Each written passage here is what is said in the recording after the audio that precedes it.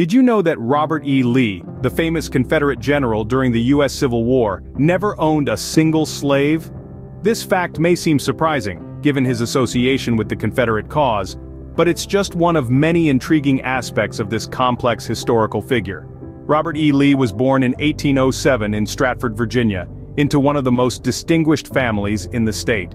His father was a Revolutionary War hero, and his mother was a cousin of George Washington. Despite his family's prominence, Lee grew up in relative poverty due to his father's financial troubles. This early experience of hardship played a significant role in shaping Lee's character and his approach to leadership. In 1829, Lee graduated second in his class from the U.S. Military Academy at West Point. He then embarked on a long and distinguished military career, serving in various capacities in the U.S. Army for over 30 years. He was known for his strategic genius, his dedication to duty, and his deep sense of honor. When the U.S. Civil War broke out in 1861, Lee faced a profound dilemma. Although he was opposed to secession, he felt a strong loyalty to his home state of Virginia. After much soul-searching, he decided to resign from the U.S. Army and offer his services to the Confederacy. For the next four years he served as the commander of the Confederate Army of Northern Virginia, leading his troops in many of the war's most significant battles. Lee's military strategies during the Civil War have been the subject of much debate among historians.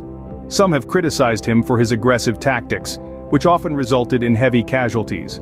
Others, however, have praised his strategic acumen and his ability to keep the Confederate cause alive despite overwhelming odds.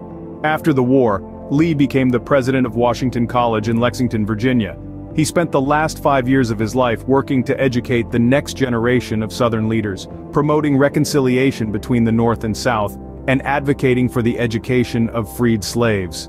He died in 1870, leaving behind a complex legacy that continues to be studied and debated to this day. In conclusion, Robert E. Lee was a man of many contradictions.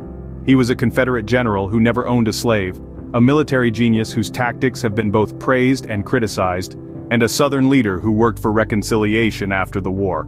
His life and career offer a fascinating window into one of the most tumultuous periods in American history. Thank you for joining us on this journey into the life and legacy of Robert E. Lee. If you found this video informative and interesting, please give it a thumbs up and subscribe to our channel for more compelling historical content.